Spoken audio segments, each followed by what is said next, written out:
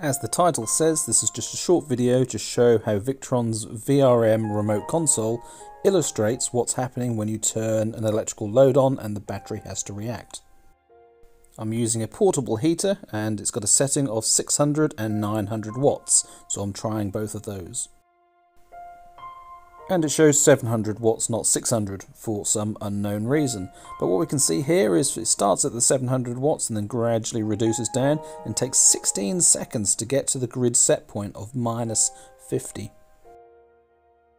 and at this point the battery is providing all of the extra power needed to try and balance the grid to the minus 50 grid set point as soon as the device is turned off, the battery continues to send energy out towards the house and hence it's not being used, so it goes to the grid. And then gradually it's reducing the amount of power that it's sending. It's not doing it instantaneously and it's taking 12 seconds in total until it gets to a point of zero discharge from the battery.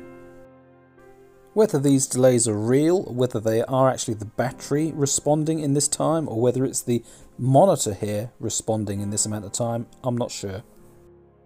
And now trying exactly the same, but turning it on using a 900 watt setting, and again, it's taking about the same amount of time to get down to that grid set point. Again, it takes 16 seconds. And the same happens again when we turn the device off. It takes about 12 seconds for the battery to stop discharging.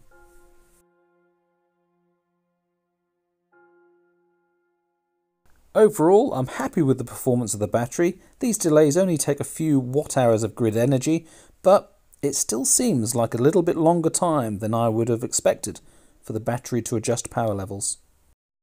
I can't help but wonder whether other battery systems respond in similar timescales, or whether they really are instantaneous.